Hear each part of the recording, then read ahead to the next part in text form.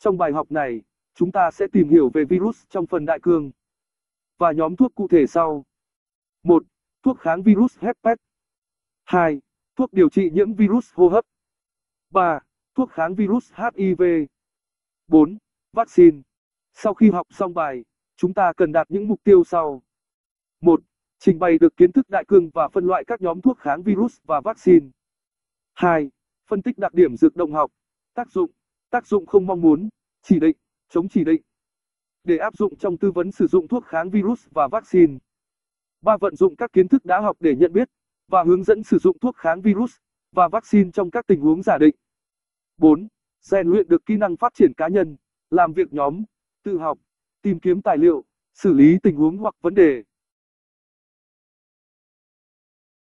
Đại cương Virus gồm có loại một hoặc hai chuỗi ADN hoặc ARN, được bọc trong một vỏ protein gọi là capsid. Virus bắt buộc phải sống ký sinh trong tế bào vật chủ, sự sao chép của chúng phụ thuộc chủ yếu vào các quá trình tổng hợp của tế bào vật chủ.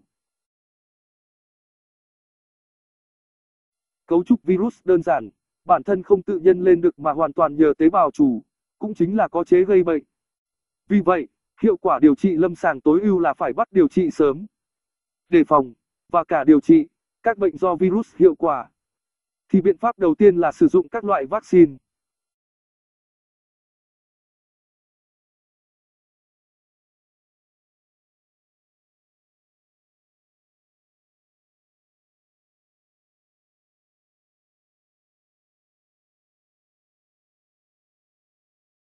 Thuốc kháng virus hepat, aciclovir, ganciclovir.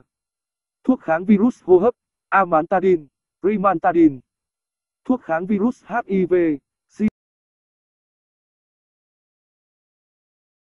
Aciclovir, Biệt dược, Acirac, Zovirac. Tác dụng Aciclovir là một chất có tác dụng chống lại các herpes virus đặc biệt với HSV1. Khi vào tế bào, nhờ tác động của enzyme nội bào, Aciclovir chuyển sang dạng hoạt hóa mono, đi và tờ di phốt phát. Aciclovir tờ di phốt phát ức chế các enzyme polymerase DNA của virus, phong bế phát triển kéo dài phân tử DNA, kìm hãm virus phát triển. Tác dụng Aciclovir có tác dụng với herpes simplex virus, HSV1 và 2, varicella, zoster virus, VZV, Epstein-Barr virus, EBV, cytomegalovirus, CMV. Thuốc ức chế chọn lọc với các virus gây bệnh hơn với tế bào chủ. Dược động học Hấp thu từ 15 đến 30% ở đường tiêu hóa, phân bố rộng rãi vào dịch cơ thể và các cơ quan. Thải trừ qua thận. Thời gian bán thải từ 2 đến 3 giờ. Thuốc vào được bào thai và sữa. Chỉ định Điều trị nhiễm herpes simplex virus da và niêm mạc, bao gồm herpes sinh dục khởi phát và tái phát, bệnh zona, viêm não do herpes, phòng nhiễm varicella, zoster, herpes zoster và chickenpox ở trẻ sơ sinh. Cách dùng và liều lượng. Dùng trong người lớn, trẻ em trên 2 tuổi, uống viên 200mg. Điều trị Hepat simplex 200mg trên lần, 5 lần trên 24 giờ, đợt 10 ngày, sau giảm xuống đợt 5 ngày. Trường hợp nặng chưa miễn dịch có thể uống tới 400mg trên lần, người già dùng liều thấp hơn liều người lớn. Điều trị Hepat zoster, chickenpox, uống tới 800mg trên lần, 5 lần trên 24 giờ. Điều trị herpes sinh dục, trẻ em, người lớn, truyền 5mg trên kg trên 8 giờ, dùng dịch pha từ aciclovir natri. Dùng ngoài, bôi da và niêm mạc kem 5 lần trên ngày. Mỡ cha mắt 3%, điều trị viêm giác mạc do herpes virus, bôi 5 lần ngày. Tác dụng không mong muốn. Rối loạn tiêu hóa, phù, đau chân. Kết tinh ở nước tiểu làm suy giảm chức năng thận. Sản phẩm chuyển hóa độc với gan, thần kinh, tủy xương. Thận trọng. Phụ nữ mang thai và thời kỳ cho con bú. Thiểu năng gan, thận, tủy xương. Bảo quản, đựng trong bao bì kín. Gan Ganciclovir. Biệt dược, Simevan, Citovin. Tác dụng cùng tác dụng như aciclovir. Tác dụng trên cả AND của tế bào chủ. Chỉ định. Nhiễm si megalovirus ở bệnh nhân nhiễm HIV giai đoạn S. Ghép cơ quan hoặc tủy sống. Viêm đại tràng hoặc tổn thương khác ở đường tiêu hóa. Viêm võng mạc, phổi, não do virus. Cách dùng và liều lượng.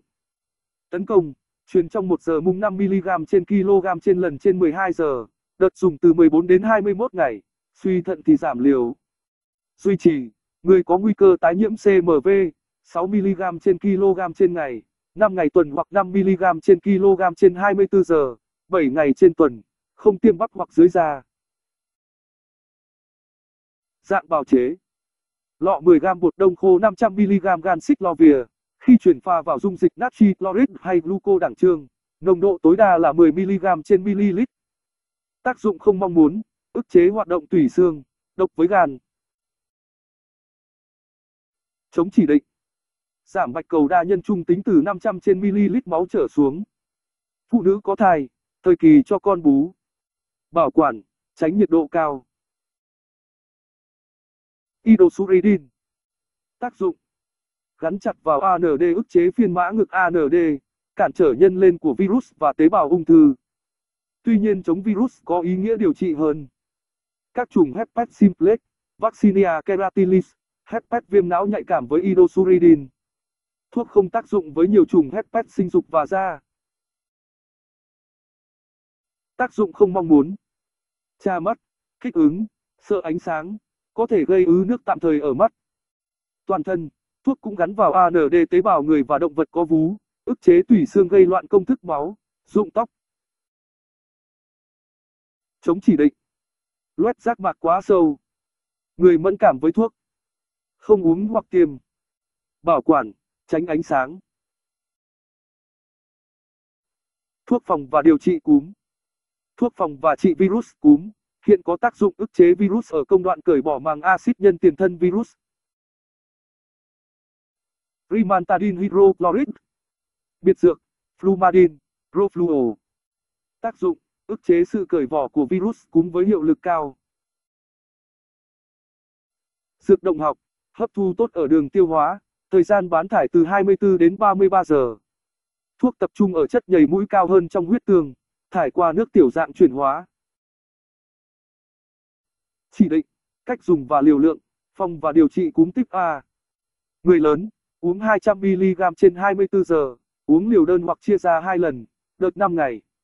Trẻ em, uống một nửa liều người lớn. Dạng bào chế, viên 50 và 100mg. Tác dụng không mong muốn, chỉ ở mức độ thấp. Kích ứng đường tiêu hóa khi uống. Hạ huyết áp tư thế, bồn chồn, kém tập trung, trầm cảm hoặc ảo giác. Một số bệnh nhân mẫn cảm thuốc. Bảo quản, đựng trong bao kín. Ribavirin. Tên khác, Sibavirin. Tác dụng, phổ ức chế virus rộng, bao gồm herpes virus, Lassa virus, virus cúm và sởi, quai bị và các virus hợp bào đường hô hấp khác. Có tác dụng nhất định với HIV, cơ chế tác dụng chưa xác định đầy đủ. Dược động học, hấp thu tốt ở đường tiêu hóa, tuy nhiên cũng hấp thu được qua niêm mạc mũi. Nên dùng dạng khí dung tốt hơn uống, thuốc tập trung ở hồng cầu. Chỉ định, cách dùng và liều lượng. Hít khí dung điều trị cúm do các virus hợp bào đường hô hấp. Người lớn, hít một lần trên 2 đến 3 giờ, hít cả 24 giờ, kể cả ban đêm, đợt từ 3 đến 7 ngày. Dạng bào chế, khí dung nồng độ 20mg trên ml, bình xịt 6g dùng cho một ngày. Tác dụng không mong muốn, hít thuốc gây hạ huyết áp, giảm nhịp tim nhẹ. Bảo quản, đựng trong bao bì kín. Vaccine Khái niệm về vaccine. Vaccine là các chế phẩm chứa kháng nguyên, tế bào vi khuẩn bất hoạt, các mảnh đặc biệt của vi sinh vật gây bệnh hoặc độc tố vi sinh.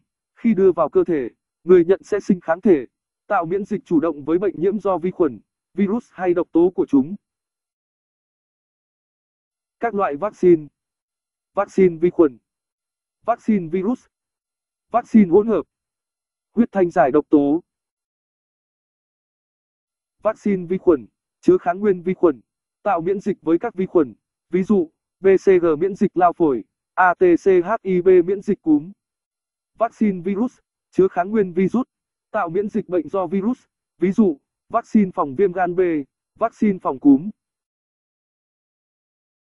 Vaccine hỗn hợp, chứa hai hoặc nhiều kháng nguyên của các vi sinh vật gây bệnh khác nhau, chỉ một mũi tiêm gây miễn dịch với nhiều bệnh nhiễm. Huyết thanh giải độc tố, chứa các kháng nguyên độc tố vi sinh, protein hoặc cấu trúc có khối lượng phân tử lớn, đã bị làm mất độc tính, khi chủng sẽ tạo miễn dịch, triệt tiêu tác dụng của độc tố khi nhiễm bệnh do vi sinh vật, ví dụ, huyết thanh chống uốn ván, huyết thanh chống rắn cắn. Tác dụng không mong muốn khi dùng vaccine. Tiêm, nổi mẩn, viêm hoặc áp xe chỗ tiêm. Phản ứng phản vệ, sốt, đau đầu, khó chịu, xuất hiện sau tiêm 1 đến 2 giờ. Dị ứng toàn thân với chế phẩm sinh học. Mỗi loại kháng sinh có thể có tác dụng không mong muốn khác. Nguyên tắc bảo quản vaccine. Theo dõi hạn dùng để nhập mới và xuất có đúng thời hạn. Cách ly với các chất kháng khuẩn, kháng virus, ánh sáng, nhiệt độ cao. Không dùng ethanol sát khuẩn dụng cụ tiêm chủng. Theo đúng chế độ bảo quản được hướng dẫn đi kèm với vaccine.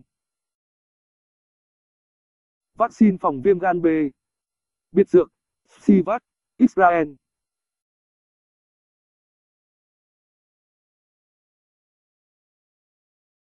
Dạng thuốc, có hai loại vaccine hiện dùng phòng viêm gan B. Hỗn dịch kháng nguyên bề mặt virus viêm gan B, HBsAg, chế tạo bằng tái tổ hợp DNA từ nấm men. Hỗn dịch kháng nguyên bề mặt, phân lập từ huyết tương của vật mang là virus viêm gan B hoặc virus khác bất hoạt. Cả hai loại, HB xác được hấp thu vào gel hydroxynyôm. Vaccine phòng viêm gan B sản xuất tại Việt Nam có hàm lượng 5 và 20 microgram HB xác trên ml. Tác dụng, tạo miễn dịch, phòng lây nhiễm virus viêm gan B ở người. Tác dụng, tạo miễn dịch, phòng lây nhiễm virus viêm gan B ở người. Chỉ định Tiêm phòng viêm gan B cho người khỏe mạnh, ở mọi lứa tuổi. Tiêm phòng bắt buộc cho các đối tượng có nguy cơ cao như tiêm trích, đồng tính luyến ái, nhận truyền máu nhiều lần, chạy thận nhân tạo, nhân viên y tế tiếp xúc thường xuyên với máu. Cách dùng, liều lượng. Lắc vaccine để tạo hỗn dịch đồng nhất trước khi tiêm, chỉ tiêm bắp, tuyệt đối không tiêm tĩnh mạch. Vị trí thích hợp tiêm là cơ delta cánh tay, người lớn, mặt trước đùi, với trẻ em, tiêm mông hiệu quả tạo miễn dịch thấp. Ví dụ, vaccine phòng viêm gan B của Việt Nam, Bỉ và Israel. Trẻ sơ sinh, trẻ em và người lớn, tiêm 3 mũi, mũi đầu, mũi thứ hai sau 1 tháng, và mũi thứ ba sau mũi đầu 6 tháng, tiêm nhắc lại sau 5 năm, tổng cộng 4 mũi trên 5 năm. Trẻ sơ sinh nên tiêm mũi đầu ngay sau khi sinh. Liều tiêm, 10 hoặc 20 microgram trên mũi, người lớn, 5 hoặc 10 microgram, trẻ em, người suy giảm miễn dịch tiêm 40 microgram trên mũi. Tác dụng không mong muốn, như đã nói chung với vaccine. Bảo quản, để ở nhiệt độ 2 đến 8 độ C, tránh đông lạnh, tránh ánh sáng. Vaccine phòng bệnh dại. Tên khác. Rabies vaccine. Bệnh dại. Do chó mèo nuôi, hoặc động vật hoang dã đã bị nhiễm virus gây viêm não truyền sang người lành sau vết cắn, cào hoặc tiếp xúc với nước dãi. Vaccine phòng dại. Có hai dạng vaccine. Đông khô và hỗn dịch. Dạng đông khô là một liều tạo miễn dịch có hoạt tính bảo vệ tương đương hoặc lớn hơn 2,5 UI. Dung môi pha là 0,5 đến 0,7 ml dung dịch natri chloride 0,4%. Ví dụ, biệt dược Velorap, Pháp, vaccine dại bất hoạt, lọ bột đông khô. Thành phần Vaccine dại đông khô chủng virus Wasta PM38, 1503, 3M. Điều chế từ dòng tế bào Vero bất hoạt và tinh chế, một liều. Manto vừa đủ một liều. Albumin huyết thanh người vừa đủ một liều. Dung môi pha, dung dịch Naco 0,4%. Tác dụng Tạo miễn dịch chủ động, phòng và chống virus dại. Thời gian xuất hiện tác dụng Bắt đầu hình thành kháng thể chủ động sau tiêm từ 7 đến 10 ngày. Duy trì được 2 năm hoặc lâu hơn. Chỉ định Chủ động phòng cho những người có nguy cơ. Nhân viên thú y, kiểm lâm, huấn luyện thú, người nuôi chó. Trẻ em hay chơi với chó, mèo. Tiêm điều trị sau khi bị chó mèo cắn. Mức độ 1 là sờ con vật hay cho ăn, con vật liếm trên da lành. Không điều trị nếu có bệnh sử rõ ràng. Mức độ 2 gây vết cào, cắn không chảy máu. Nên tiêm ngay vaccine. Mức độ 3 vết cắn, cào xuyên thủng da, niêm mạc nhiễm nước dãi chó, mèo. Việc cần làm là tiêm ngay vaccine và huyết thanh kháng dại. Cách dùng và liều lượng, tùy theo tình huống phơi nhiễm. Phòng bệnh chủ động, chưa phơi nhiễm, tiêm bắp hoặc trong da 0,5ml vào các ngày không 7 và 21 hoặc 28, tổng cộng 3 liều. Điều trị sau phơi nhiễm, rửa sạch vết chó, mèo cắn bằng nhiều nước, xà phòng, sau đó bôi cồn 70%. Với người tiêm vaccine dự phòng lần đầu, người lớn, trẻ em tiêm 5 mũi 0,5ml vào các ngày 0, 3, 7, 14 và 28. Người nhiễm độ 3 phải tiêm liều 20 UI trên kg huyết thanh kháng dại, loại nguồn gốc người, vào ngày 0. Với người đã có tiêm dự phòng, tiêm 2 mũi vào ngày 0 và 3 với người tiêm cách 5 năm trở lại, tiêm đủ 5 mũi, như chưa tiêm dự phòng, với người đã tiêm phòng quá 5 năm. Vaccine phòng dại sản xuất tại Việt Nam ở dạng đông khô dùng tiêm trong da dung dịch hòa tan liều tiêm với 0,7ml dung môi kèm theo. Tác dụng không mong muốn, như đã nói chung với các vaccine. Bảo quản, để ở nhiệt độ từ 4 đến 8 độ, tránh đông lạnh, tránh ánh sáng. Vaccine phòng bại liệt. Tên khác, vaccine Sabin. Vaccine phòng bại liệt chứa virus bại liệt đã mất hoạt lực bằng nhiệt độ và formaldehyde, được điều chế dưới dạng hỗn dịch đậm đặc. Tối đa 0,1 ml trên liều. Tác dụng Tạo miễn dịch với virus gây bại liệt cho trẻ em và người lớn. Hiệu quả đạt 100%. Hiệu lực có sau trùng 7 ngày. Sau đợt tiêm chủng đúng chỉ dẫn có thể miễn dịch suốt đời. Chỉ định Tiêm phòng cho trẻ 6 đến 12 tuần tuổi trẻ em và thiếu niên đến 18 tuổi chưa được tiêm chủng. Du khách đến vùng có virus bại liệt đã thành dịch hay bại liệt đang lưu hành. Cách dùng và liều lượng, tiêm dưới da 0,1ml trên lần. Để tạo miễn dịch cơ bản phải tiêm 3 mũi. Hai lần tiêm đầu cách nhau 1 đến 2 tháng. Mũi tiêm thứ ba nên tiến hành sớm nhất là sau mũi thứ hai mùng 6 tháng. Và không được chậm quá 2 năm. Củng cố bằng tiêm mũi thứ tư thường được tiến hành 4 năm sau lần tiêm thứ ba. Cần thiết thêm một liều bổ sung sau đó, tổng số 4 đến 5 liều. Bảo quản, luôn để ở nhiệt độ từ 4 đến 10 độ C, tránh ánh sáng. Vaccine bạch hầu, uốn ván, ho gà.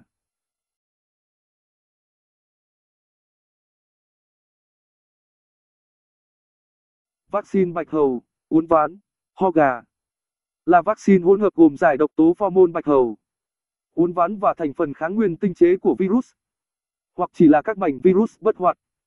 Chất mang vô cơ là hydroxyzome. Đơn vị vaccine. Liều một mũi tiêm 0,5ml chứa 30 UI giải độc tố bạch hầu, 40 UI giải độc tố uốn ván và 4 UI kháng nguyên virus ho gà. Tác dụng sau đợt tiêm chủng sẽ tạo miễn dịch đồng thời cho ba bệnh. Bạch hầu, uốn ván và ho gà.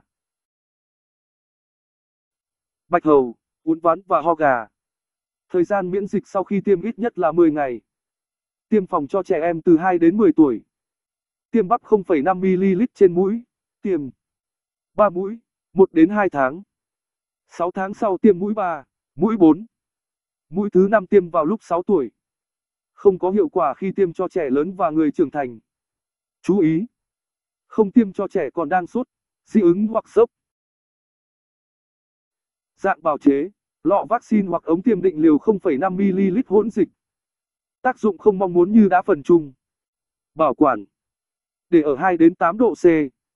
Tránh đông lạnh và ánh sáng. Khi đã mở phải dùng hết lọ vaccine.